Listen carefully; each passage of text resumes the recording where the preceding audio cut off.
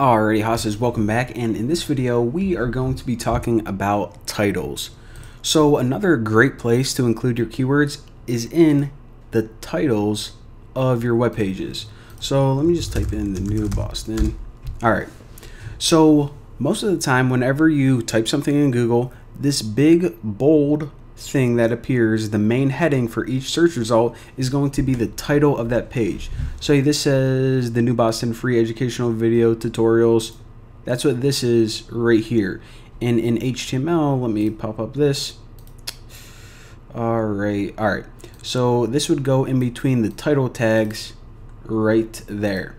Now, a couple things that we have to look out for is, first of all, your title should be a descriptive and detailed overview of each web page.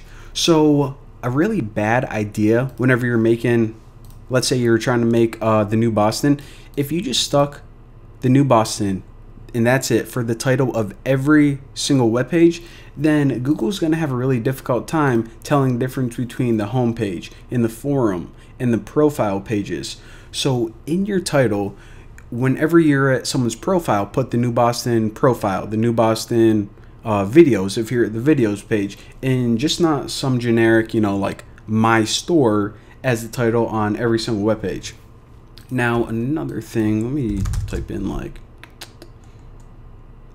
All right, so another thing I want to point out is you should probably keep your titles limited to under 65 characters. Now, the reason for that is, like I said, this is the main thing that the user is going to see whenever they are looking at your search results. So they're going to read this, and if it's too long, for example, this one down here, corn vegetable directory, watch your garden grow, it gets cut off. You see that there is that little ellipsis, and it doesn't have room for the full title. So you always want people looking for your web page to be able to read the full title and watch your garden grow what? Watch your garden grow weed? Watch your garden grow to enormous sizes and eat you? I don't know. What is it? So, again, just keep your titles limited. Now, another thing I want to point out is this it's better to have your specific keywords closer to the beginning of your title. So, for example, on my website, I wanted the new Boston in every title, no matter if it was the videos pages, the profile, whatever. So on this one, it's the New Boston Free Education. On this one, it was, let's see, the New Boston videos, whatever. Now on my profile right here, I actually took the New Boston and before it, I wrote Bucky Roberts because whenever someone is looking for Bucky Roberts, the New Boston, I don't want the new Boston to appear first because they're looking for me. So I want the first thing that they see is Bucky Roberts. Now, when words are closer to the beginning of your title, this tells Google that these words are more important. So again, the further you go, I don't know, maybe if it's the 30th word of the title, it's really not that important. So again, stick your important keywords at the beginning. And by important, I mean the keywords that are specific to this single page. Now, the last thing I want to point out is I like typing in buy stuff. So buy, buy nothing. that doesn't really hurt. Buy a star. All right, there we go. And by the way, now that I'm just talking about this, I heard that you can never really buy a star. Like this is kind of some big scam. So basically, no one can just like own a star because oh no, you can't. So anyone can just be like, hey, just buy a star. We're gonna print out some certificate and mail it to you, but you know, it's not like legal or anything like that. So guys, don't buy stars. Um, I don't know. I saw it on Reddit, and I'll pretty much believe anything that's on there. so let's get getting sidetracked again. Come on, Bucky. Let's focus here. All right. So what I wanted to say is the title of your webpage it isn't just for search engines. I know you're going to have a lot of juicy keywords that you want to target, a lot of phrases that you want your webpage to appear at the top of the results. So you think, all right, if I want to make buy a star, I'm just going to name my title buy a star, purchase, um, own, new stars, naming stars, whatever. So you can do all of that, but who's going to click a title that pretty much just has a bunch of random words in it? These titles are also for users. So whenever a user is looking at this, not only do you have to have a title that is going to appear at the top of the search results, but you have to have a title that makes sense, that grabs their attention, that makes it something that they want to click. And this is kind of a marketing technique where you just can't have like a bunch of random keywords. That's not even a sentence.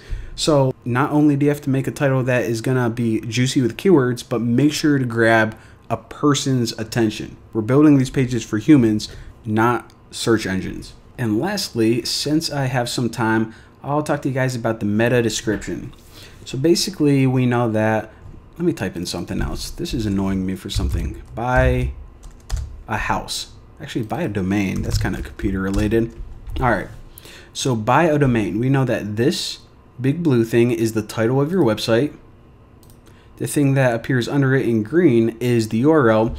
Now this right here, the text that this is, is the meta description. Now, if you're ever making a website, the meta description is this right here. It kind of looks like this. So any meta tag, this is data about your website, but it doesn't actually display on your website anywhere. It's basically just background information about, I don't know, maybe the browser or maybe for search engines. It's data that you don't want the user to typically see. Now, this description right here, what it is is basically, how can I say this? It's a slightly um, longer description of your page. So, let me pop this back up. Where the heck is it? There it was. All right.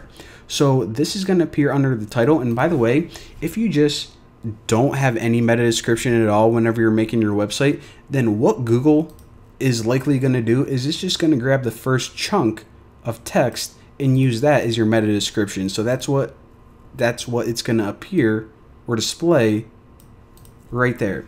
Now, it's a good idea to stay under 160 characters for the same reason as the title. So you see that this is a good description. It's not too long. You can read the entire thing. This right here is a little bit too long. So it's it gets cut off at the end right here. And again, whenever a user goes to GoDaddy, they never see that description. So why would you ever have a description that's not going to be seen by anyone, essentially? I don't know. Who knows? So again, whenever you're making your titles and your meta descriptions, make sure to add keywords in those. Again, don't add your keywords like 800 times. A good uh, point of focus, I guess, or kind of a target is to include a keyword once in your title and once in your description. And also make sure that neither of them are too long, attention grabbing, and readable for humans, not search engines. So there you go. Hopefully you guys learned a little something. And uh, yeah, again, like you can see right here, register domain, register domain. Hey, include your keywords in the description and you'll be one happy guy. I'll see you guys next time.